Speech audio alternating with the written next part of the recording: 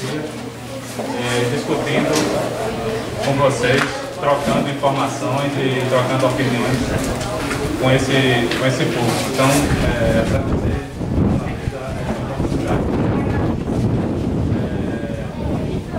Bom, eu sou coordenador de uma associação aqui na Paraíba, que é uma associação de pessoas que têm uma, uma doença genética.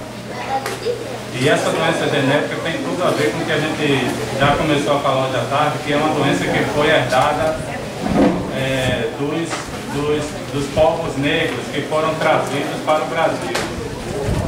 É, é, é uma anemia, mas não é uma anemia comum, é uma anemia falciforme, o nome dessa doença. E ela, ela, ela é uma doença genética e hereditária que atinge a hemoglobina do, do sangue das pessoas. É um defeito genético na célula do sangue. Né? Então, tu tens um. Galera, tens um piloto aí? Porque eu, eu não trouxe. Eu não trouxe nada para projetar, mas eu vou mostrar um pouco como é o formato aqui. O sangue da, o sangue, o sangue da gente, é, todo o sangue tem uma hemoglobina é uma célula, essa hemoglobina dentro do sangue, ela é, ela é, ela é responsável em transportar o oxigênio para todos os, para todo o organismo, todos os tecidos do organismo. Então quem carrega o oxigênio no nosso corpo é a hemoglobina do sangue. E as pessoas com anemia falciforme, elas nascem com um defeito nessa hemoglobina. Certo? Então, é, essa associação da qual eu participo, é uma associação que agrega pessoas com esse problema. E também pessoas com talassemia, que é um problema parecido, também na hemoglobina, só que é é de uma outra é de uma outra população. É Ela acontece mais no- no- é, nos descendentes gregos e o pessoal que veio do- da região do Mediterrâneo. Então, a associação que eu estou falando é, é a Associação Paraibana de Portadores de Anemia de... É, essa célula aqui, é, faz de conta que é a, a hemoglobina do sangue. Essa seria uma hemoglobina normal, redonda, e no centro dela ela tem um. como se fosse um pires, ela é mais funda no centro, certo? E é no, no centro dela ela, ela carrega o oxigênio. O oxigênio, o oxigênio vai, vai preso aqui no centro da, da hemoglobina e ela leva o oxigênio para todas as para todos os tecidos do organismo, do cérebro até a ponta do pé. Né? E as pessoas com anemia falciforme,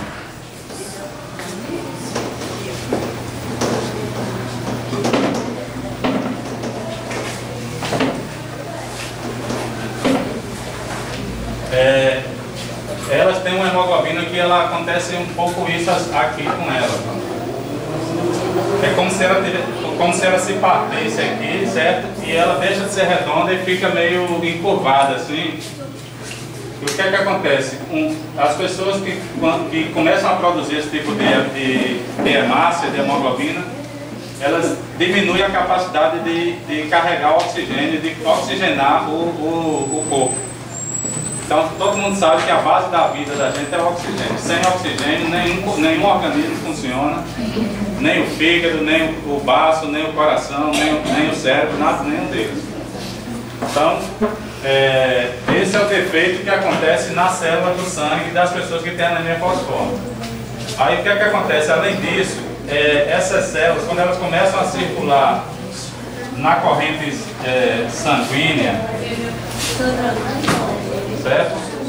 Faz de conta que aqui são os canais das veias onde o, sangue, o sangue vai, vai circulando. Então, quando a pessoa entra, no, entra na crise dessa doença, as, as células começam a ficar dessa forma e elas vão, por conta desse formato, que é um formato que é, os médicos chamam de foice, por isso o nome da doença é falciforme, que vem da, da palavra foice, elas começam a enganchar uma na outra, certo? E, e elas vão se enganchando e vão se acumulando em determinadas, determinados pontos aí da, da- das veias. Vão entupindo as veias. elas vão entupindo as veias, as veias vão inchando e podem causar derrame, é, podem fazer com que as veias se estourem, causem é, derrame em várias partes do, do organismo.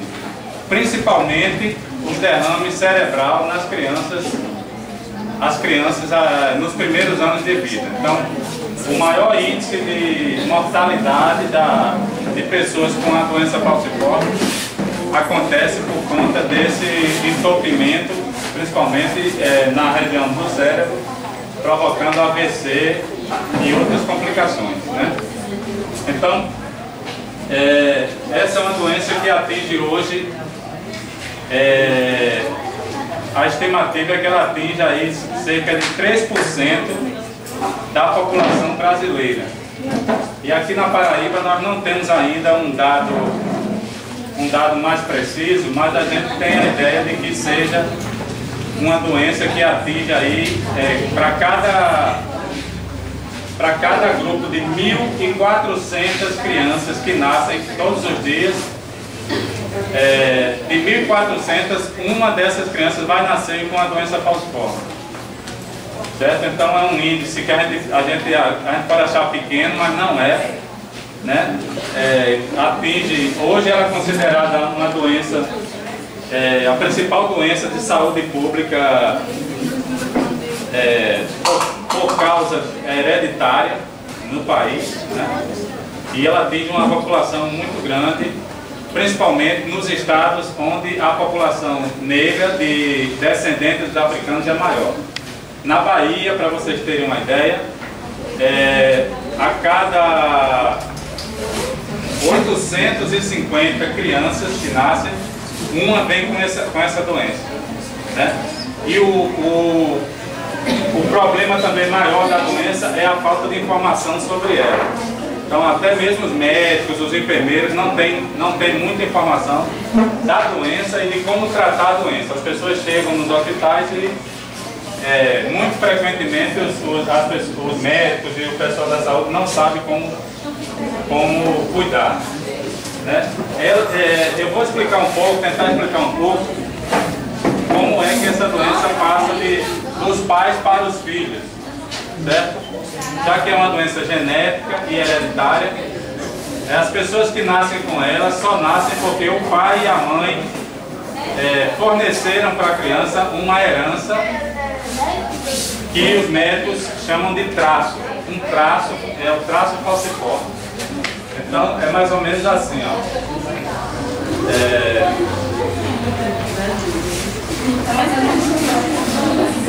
O pai e, e a mãe, certo?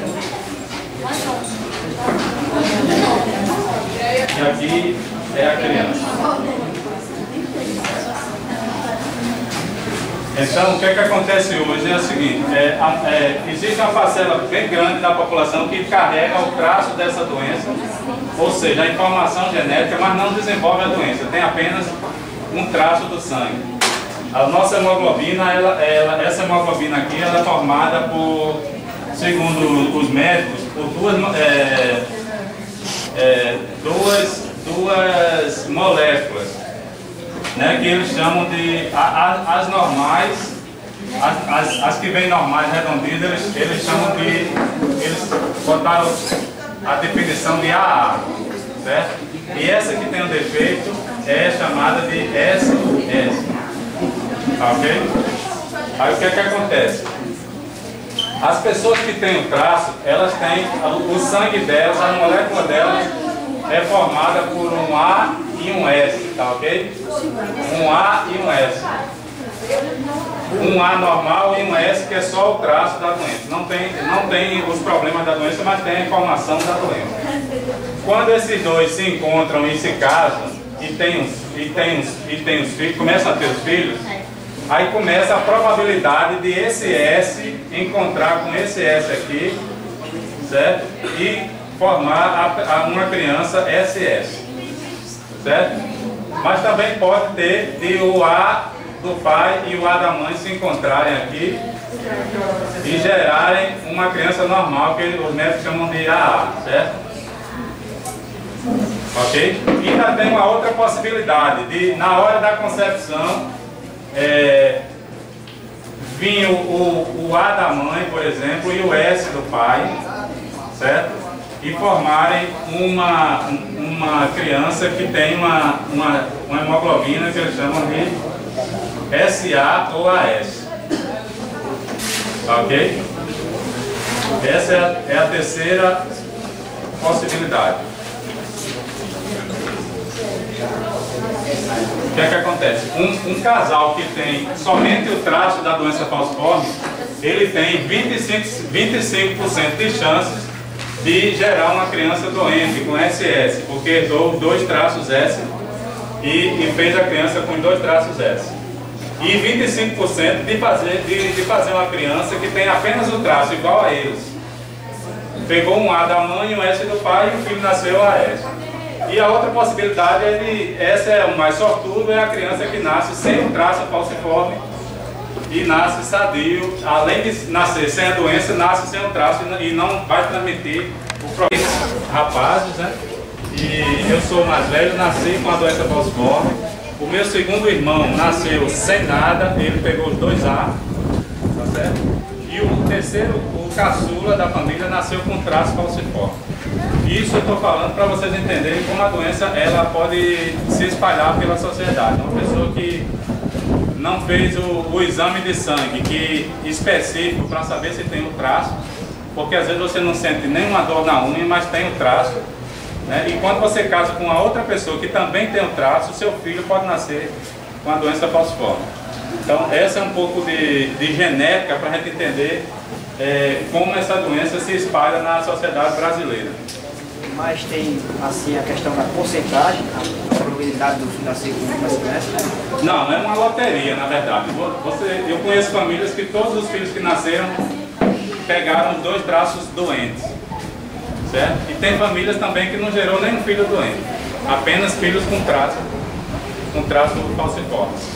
É. Então é muito, é muito na hora da concepção da criança, na hora de que ela está sendo fecundada mesmo, ali no início. Uma coisa que interessante é, por exemplo, a gente sabe que vai fez uma pesquisa e identificou que 85% das crianças que são atendidas pelo programa são afrodescendentes.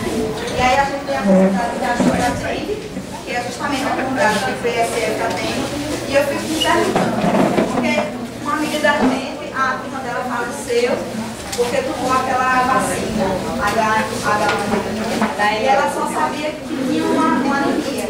Ela já com 19 anos não sabia que tinha anemia falciforme. E aí a gente vê que a, a prefeitura agora tem uma preocupação de estar tá fazendo essa discussão do PSF. E eu pensei que nesse sentido, porque a gente atende essas crianças, se alguma dessas crianças pode ter esse traço ou a, ou a própria anemia como identificar depois de tantos anos que já não sabia. É. Quem ia perguntar também? Eu. É, por exemplo, tem algumas crianças que, ah, essa menina tem anemia, tem anemia, tem anemia. Pai e a mãe empurra é, ferro. E aí a gente, eu, por exemplo, eu tenho toda uma preocupação em ver se isso tem algum problema ou não. Aí nesse carro da criança ingerir muito ferro, o que pode acontecer com essa criança? Porque a anemia falciforme a gente sabe que tem uma, quantidade de ferro que você tem que consumir por dia, tem uma taxa assim. Eu queria que você esclarecesse um pouco isso. E como a gente poderia detectar isso numa criança que fosse, tivesse assim, anemia falciforme, a, a, nós como estamos na base, somos educadores, como a gente poderia estar vendo isso? Bem, é, é, hoje a população da Paraíba, segundo o IBGE, é de 63% de afrodescendentes, certo? Então, hoje nós somos considerados um estado com uma predominância negra muito, muito, muito grande, né? A nossa história mostra isso. Então, é, provavelmente nós temos um índice de, dessa doença, que é uma doença bem típica do, dos africanos, porque ela foi descoberta inclusive na África, na região do, do, ali do deserto do Saara, onde ela se manifestava mais. E tem um detalhe, essa doença, ela havia uma época na humanidade que não, não havia anemia falciforme, que todas as todas as hemoglobinas eram normais. Mas aí apareceu a malária. A malária começou nessa região da África, começou a, a dizimar a população. Então, o organismo nosso, para se defender da malária, sofreu uma mutação. E a mutação é essa aqui. Porque dessa forma a malária é, atingia com menos severidade as pessoas na, naquela região. E aí, provavelmente, aquela parte da humanidade só escapou porque o nosso corpo fez essa, essa esse, deu esse drible na, mara, na malária, certo? Para escapar da, da extinção. Então, existe até umas teses aí de, de genética e, e, dos caras que pesquisam isso, dizendo que a anemia falciforme foi um, um mecanismo que, que o nosso organismo encontrou para que a humanidade não desaparecesse por conta dela. A outra coisa é a diferença entre as anemias, né? A anemia normal que a gente fala, ela é uma, uma, uma falta de ferro no organismo, que os médicos chamam de anemia ferropriva. Ferropriva. É uma privação de ferro, certo? Então, é, isso acontece quando a gente não consome alimentos ricos em ferro, que é a carne principalmente, a carne vermelha, e as verduras bem verdes, aquelas mais verdes escuras, são as mais ricas em ferro. Então uma alimentação com esses ingredientes, ela é uma alimentação rica em ferro e você fica, fica mais forte, fica mais corado, né? E as crianças que têm uma deficiência alimentar, elas, elas geralmente sofrem de, dessa anemia comum. As gestantes também, por conta do período de gestação, elas têm uma, uma deficiência de ferro no organismo. E alguns médicos recomendam que nesse período as mulheres é, tomem ferro, né? Doses de ferro no comprimido e tudo mais para repor o ferro no organismo. Agora, quem tem anemia falciforme é, não pode, não pode é, usar ferro como as pessoas comuns usam, porque ele, o ferro na anemia falciforme ele tem um problema. Ele, ele, é claro que a gente precisa de um pouco também, como qualquer pessoa, mas se você dá o ferro em excesso para as pessoas com anemia falciforme, ele, ele começa a acumular, é, ele começa a acumular ferro no, no fígado e no baço. E isso gera outros problemas lá na frente. Então tem, é, tem muita gente um outro problema também é que quem tem essa anemia falciforme, além de ter uma anemia, essa anemia comum maior do que as, as outras pessoas, porque no nosso caso não é por falta de alimento, mas é porque a nossa taxa de hemoglobina no sangue é menor, né? E também é, a gente acumula menos, menos ferro no organismo. Então, quando as pessoas estão na crise dessa doença, elas precisam tomar sangue elas vão para o hemocentro, para o hospital e tomam uma bolsa, duas bolsas, dependendo da, da, da necessidade. E quando tomam esse sangue, esse sangue vem rico em ferro, né?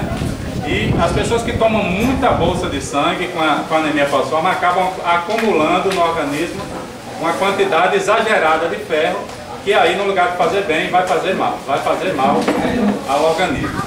Então, é, a diferença básica é essa, não é uma anemia comum por falta de, de nutrientes na alimentação, é uma anemia que é causada por um defeito na, na nossa hemácia, e a hemácia também é responsável pela, pela, pelo, pelo trajeto aí do ferro no organismo da gente.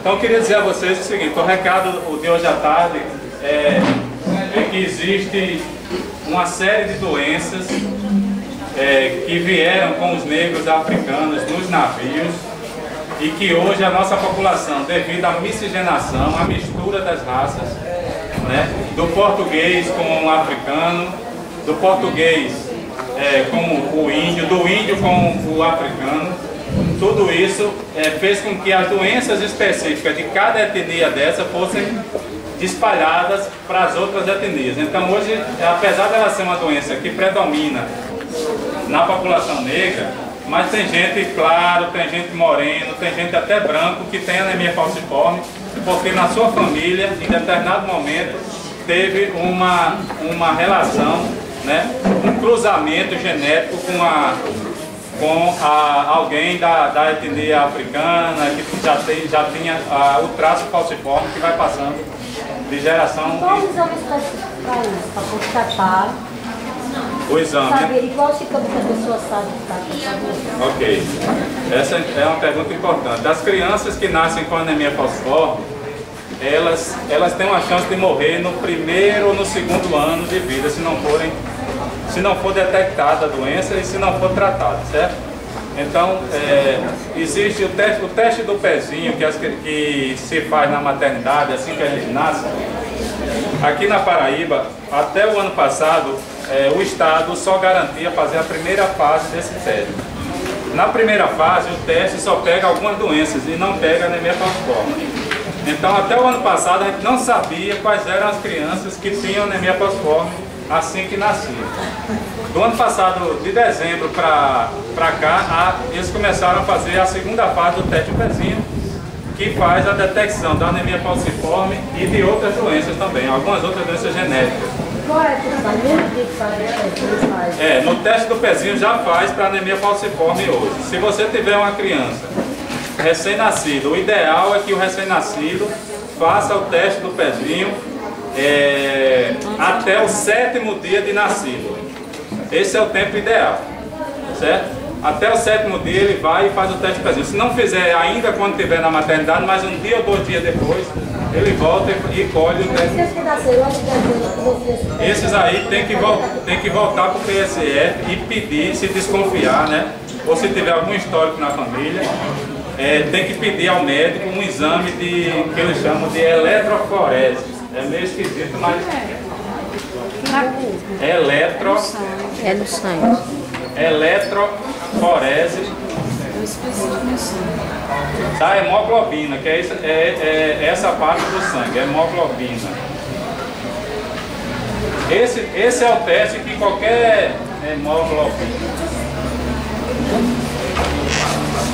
Esse é o exame que qualquer, qualquer banco de sangue desses, inclusive os particulares, fazem. Se você tem uma criança que você desconfia que ela está sentindo muitas dores, né? o principal sintoma é dores nas articulações, nas, nas, nos joelhos, nas, nas juntas lá embaixo, em todas as juntas. Né? Se tem uma criança que chora muito, que não é fome, mas continua chorando, né?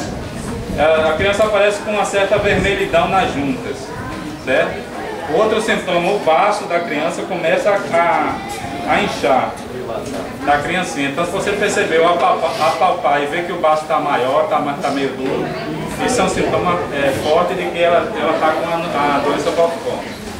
E um outro problema, o baço da gente é um organismo que filtra todo o sangue. Todo o sangue passa pelo coração e passa pelo baço também. Porque lá no baço, o baço faz uma filtragem daquelas impurezas, de alguns anticorpos e coisa e tal. E a pessoa quando está na crise da anemia falciforme, o baço, o que é que ele faz? Ele vê, aquela, ce- ele vê essa célula defeituosa, ele imagina que isso é um, é um, tem alguma coisa errada. Ele começa a, a, a prender, a segurar lá, lá no baço, começa a segurar o sangue. E a pessoa começa a ficar mais amarela, mais anêmica e o baço começa a inchar porque ele começa a prender, não deixa o sangue voltar para a circulação. Então isso também ocasiona é, muito problema de óbito nas crianças. É preciso ter cuidado é, e esse quadro ele evolui em, em dois ou três dias, a criança, a criança já está numa situação complicada. Sintomas de febre sem ter uma- um motivo aparente, né? As crianças que têm anemia falciforme têm que ter cuidado com infecções, qualquer tipo de infecção urinária, infecção nos dentes, ou então se cortou o pé e tem uma infecção, pode desencadear uma crise. Né? Então são vários sintomas que você pode observar na criança. O olho amarelo, essa parte branca do olho fica amarela e as pessoas confundem a anemia falciforme com, com, com icterícia, com... Como é o nome da doença? Aquela amarela. Hepatite. É, é hepatite. Hepatite. uma espécie de hepatite, e não é, certo? O problema é que quando os vasos... Mas é muito confundido porque tem interesse. É, É, icterícia. Três órgãos no nosso organismo: fígado, baço e pâncreas. Se é até hepatite, é só o fígado. só o fígado, exatamente. Mas o olho Então, fica um simples exame de Fica. sangue, você constata que é o HBC. É. Aham. certo? É, pode ver aí, aí o índice de hepatite, se ela é C, se ela é B, um exame de sangue. Isso. Já a icterícia, quando ataca o pâncreas, é muito grave. Aham. E E em pessoas- criança mata. Mata, mata. Então o olho amarelo, nesse caso, não é por conta dessas, desses dois problemas, é porque a bilirrubina que vem junto com, com ela vem na, na- é uma parte do, do sangue, começa a estourar e o olho, o olho da pessoa fica amarelo por conta da bilirrubina que tem no sangue. Então são alguns sintomas que a gente precisa estar atento, né?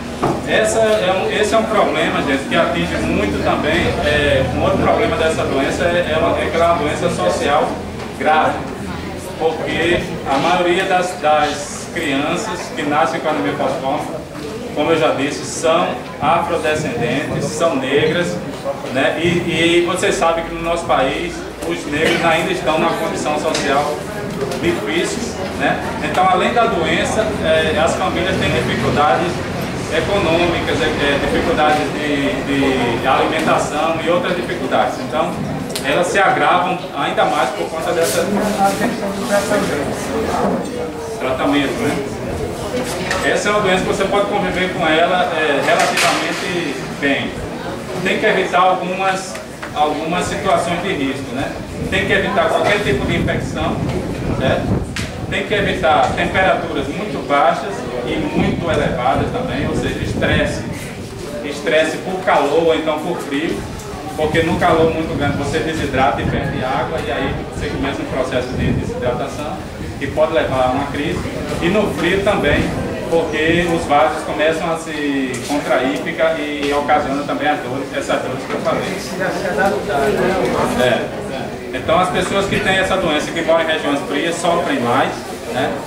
Geralmente sofrem mais. Ela também, ela também ocasiona muita pneumonia na- na- nas pessoas, né? Então tem que ter um cuidado especial com essas crianças. Existe uma vacinação também específica para quem nasce com anemia falciforme. É uma, é, a criança tem que tomar vaci- as vacinas é, contra a, a é, que eles chamam antipneumocócica, que é para evitar infecção por, por pneumonia e por aí vai.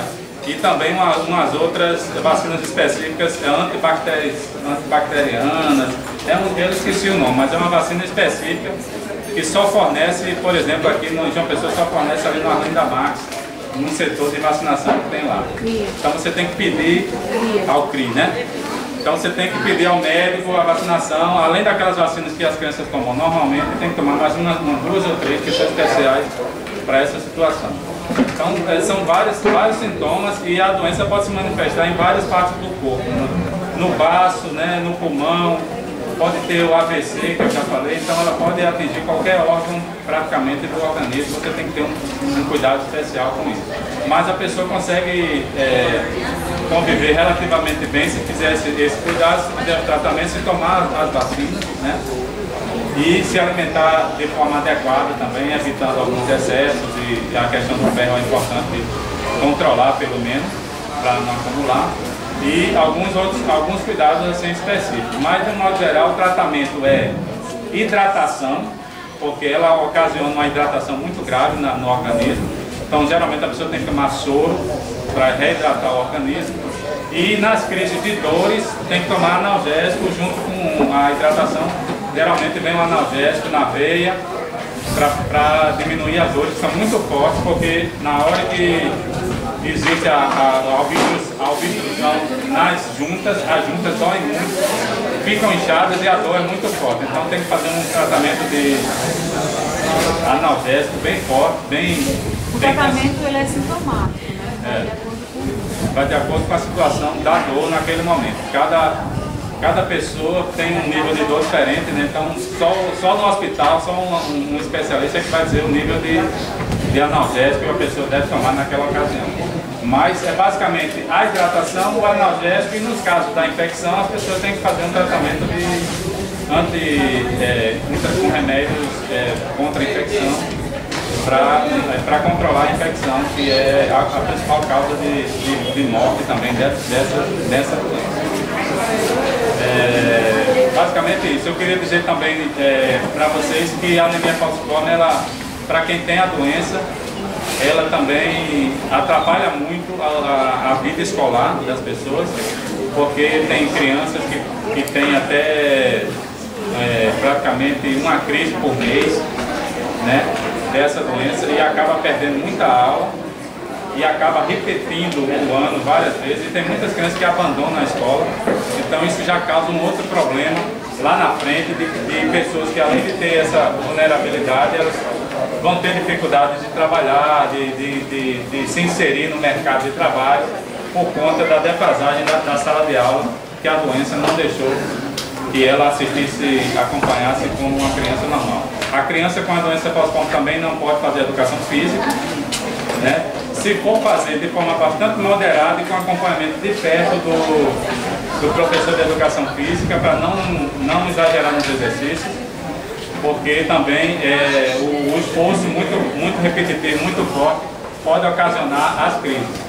Existe, uma, existe uma, um estudo, uma pesquisa, que diz que até as pessoas que têm o traço falciforme em algumas situações elas podem desenvolver é, alguma, algum tipo de crise.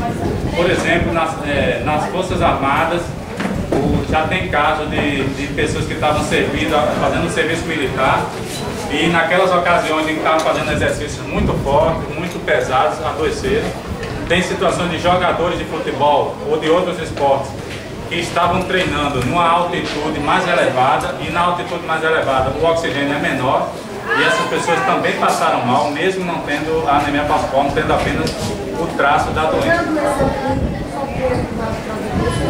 É, essa, essa doença, para vocês terem ideia, ela foi descoberta cientificamente há 100 anos atrás. No ano passado a gente comemorou 100 anos da descoberta da doença.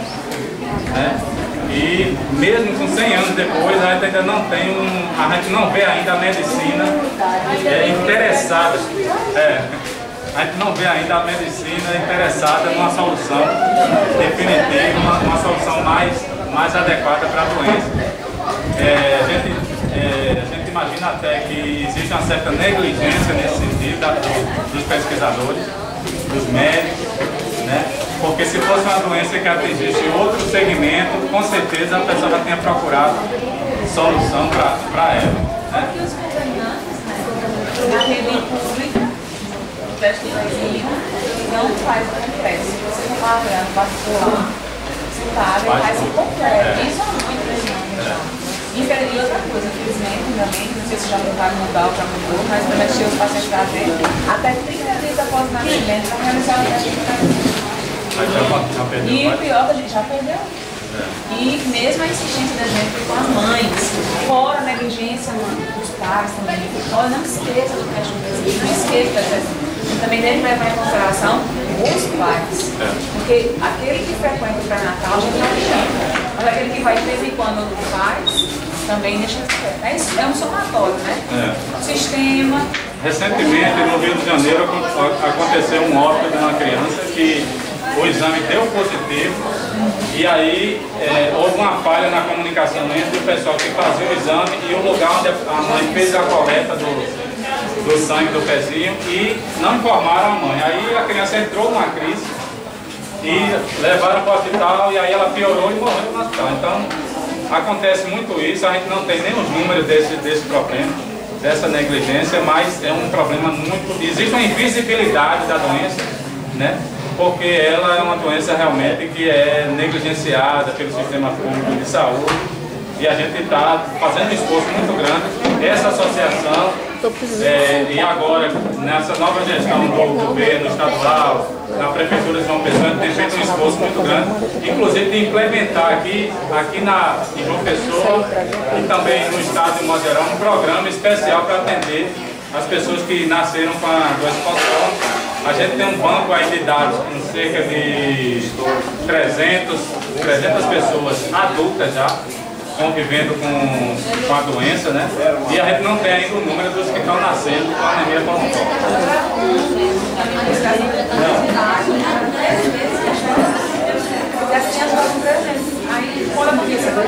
É, não, o resultado tem que ser imediato. É.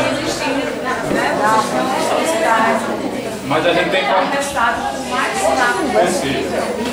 A gente tem informação que o LACEN, que é o laboratório que faz os testes, já está capacitado para dar esse resultado rapidamente. Mas até agora chegou lá. É Já tem alguns PSF já.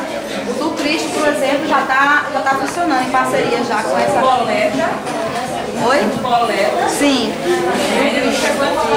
Aquele, aquele centro é, entrega, assim, que é um posto A de né? a É. da prefeitura, quando a pessoa chega, quando vai chegar 100%, ela vai só com Aí assim, às vezes vocês podem imaginar que é uma unidade desinformadas, mas é porque o sistema, a rede de comunicação não passa, não funciona, bloqueia, chega pela metade tem uma informação, tem que chegar o mais rápido possível, passar para todos que funcionam, porque chega pode chegar algum paciente ou profissional achando que ele sabe tudo, mas a informação não chega. O nosso esforço agora é que é, a prefeitura providencie uma capacitação para todos os PSF, porque tudo começa no PSF. Se o pessoal não estiver preparado, não adianta. E se a informação não chegar até a gente, É, então a gente acha que, eu acho que esse ano ainda, é, no próximo semestre talvez, comece a capacitar os PSF para começarem a atender e detectar as crianças que, que isso é uma vitória. problema. Se não chegar.